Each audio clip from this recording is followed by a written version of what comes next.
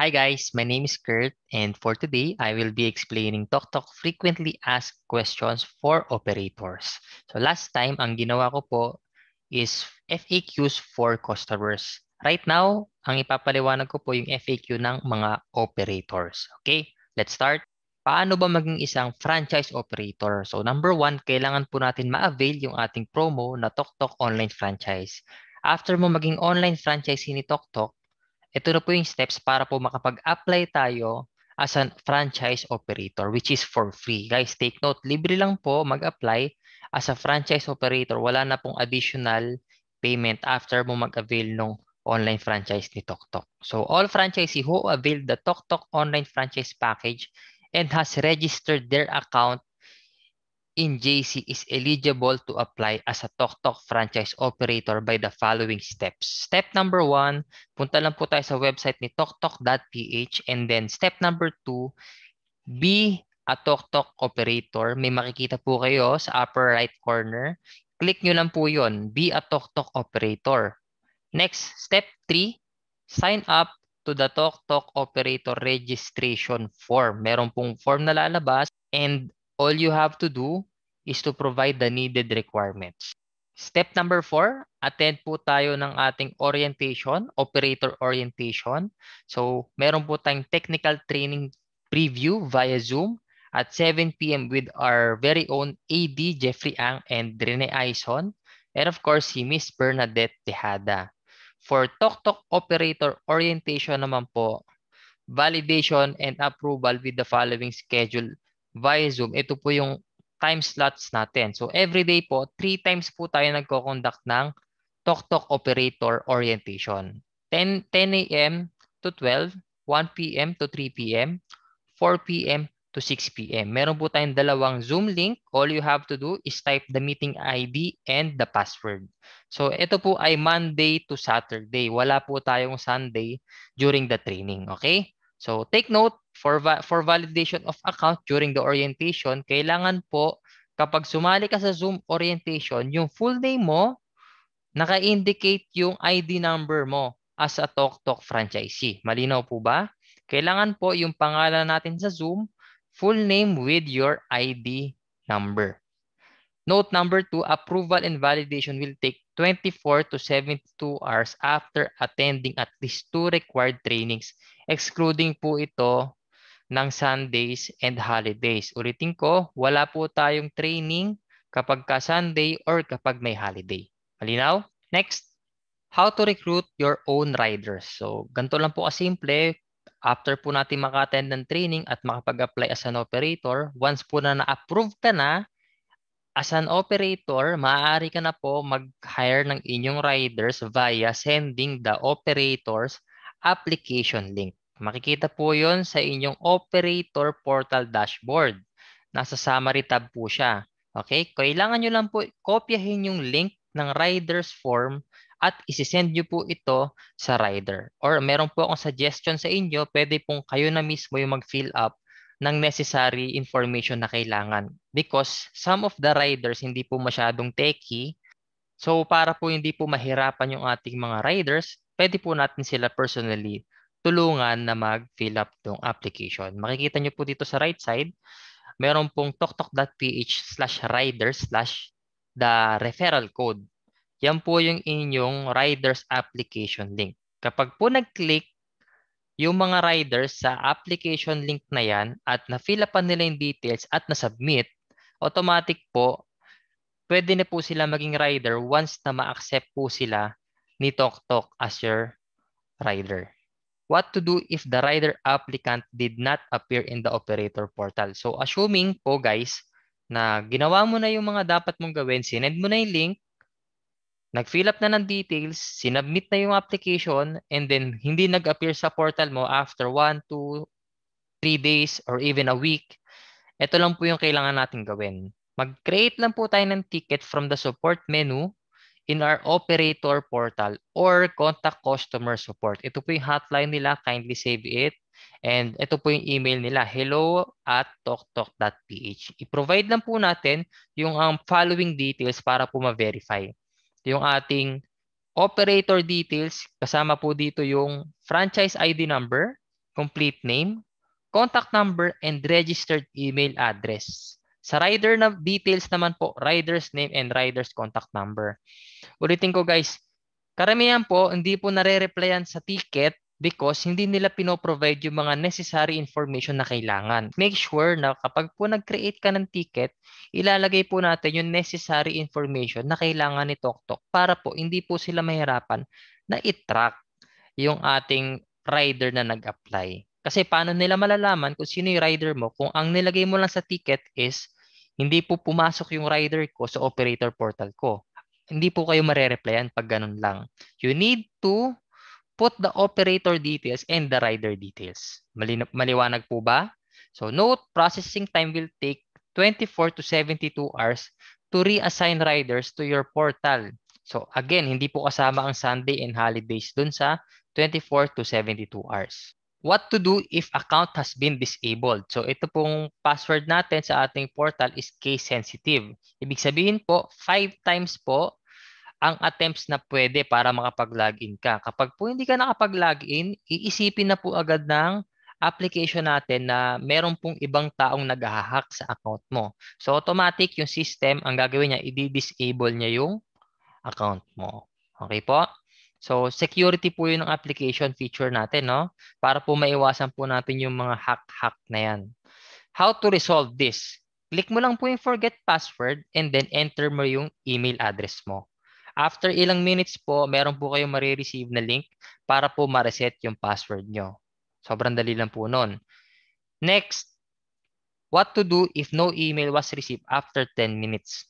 Check junk or spam messages of your email because po uh, sometimes the security features of some email or messages are redirected or marked as junk. Lalo na po pag first time nila makareceive from the sender, yung email na ginamit, no? So, check your registered email also. You might have entered the wrong email, which may not be the one registered in your TokTok account. So yung iba po, nagko-complain sila, wala daw na-receive na email. And then malalaman po ni company na ibang email pala yung ni-register nila kay TokTok at iba yung ginamit nila nung nag-forget password sila. So pagka ganun po, contact our customer support or mag-email po kayo sa hello TokTok hello at toktok.ph. Note, processing time po ulit is 24 to 72 hours top upload for operator. Yung top upload po, ito po yung pag-load natin sa ating wallet para masendan natin yung mga riders natin. Kailangan po ng riders yung load para po makapag-operate sila. Okay? Para makabiyahe. So what are the payment methods available? So pwede po tayo mag-transact via PayPanda. Si TokTok po ang may-ari ng payment gateway na yan mismo.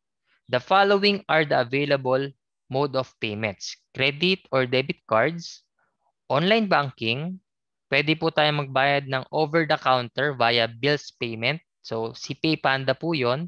Guys, before I proceed, meron po itong step-by-step na isusundin para makapagbayad po tayo. Okay? Ang ilalagay po natin na details doon is si PayPanda. Okay po? Meron pong reference number yan. So, wag po kayo magalala kapag ka nag top upload kayo, meron namang kayong magiging reference dyan. May step-by-step -step kayong susundin. Next, OTC non-bank or remittance partner, DragonPay, and JC Wallet.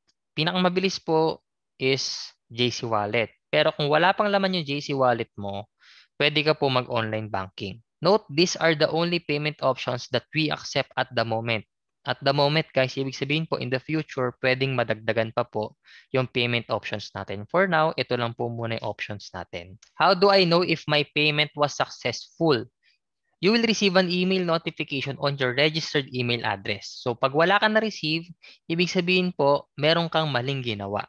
So kung hindi ka pa nakakabayad, pwede mong ulitin yung transaction. Pay Panda transaction will update if your payment was successful. Ayan po ah, i-update po tayo kapag successful yung pag-top up natin. So, note na lang po sa mga following schedule ng payment posting natin.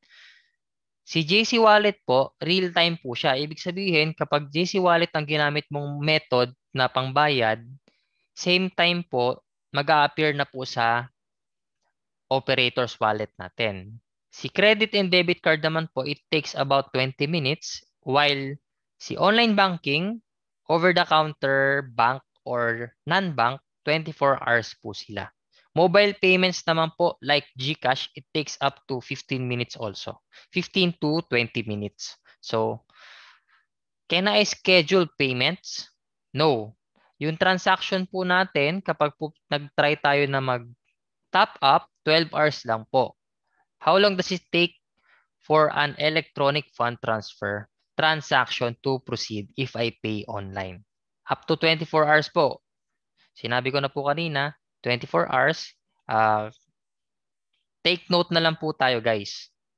Also, PayPanda will send an email to you once po na maging successful yung payment. So, meron, uh, before I proceed, ito po yung transaction fees natin. Of course, gumagamit tayo ng payment gateway, meron pong transaction fees. So, kay GC Wallet po, 15 pesos. Online banking, 25 pesos.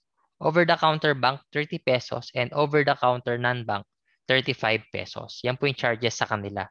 Hindi po sa atin napupunta yung transaction fees, hindi po kay company. Doon po sa mga partner merchants po nila. Okay? QR payments, 2% plus 25 pesos. And then, credit card or debit card 4.4% plus 35 pesos. Yan po yung transaction fees natin. How much will be the renewal fee for TokTok franchise operator? So ito pong renewal fee natin, right now po naka-waive po siya until December 31, 2021. Okay? So wala po tayong renewal fee. How to get rider's ID? The operator will issue the TokTok ID to their rider by scanning the QR code in the rider application. They can also print and have it laminated. So, si operator po ang magbibigay ng ID ni rider. How to get the Tok insulated bag and the other merchandise. So, ito pong bag na ito, in order po natin to sa portal's equipment shop menu. Okay? Once po na uh, verified na yung payment natin, a representative from TokTok Operations Department will contact the operator and schedule its delivery.